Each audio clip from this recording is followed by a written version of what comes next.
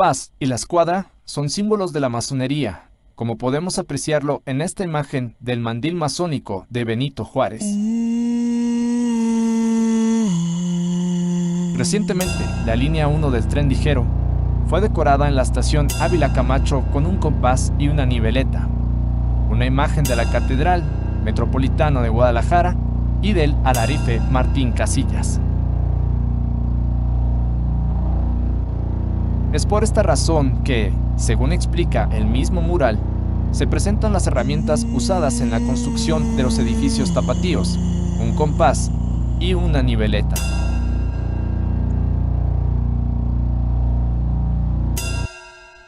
Con esta explicación, esperamos que las teorías de conspiración queden disipadas, entendiendo que algunos hechos en la Perla de Occidente son muy curiosos, como las 33 estatuas que han sido expuestas, ya que resulta misterioso el número 33, para los teóricos de la conspiración que nunca faltan.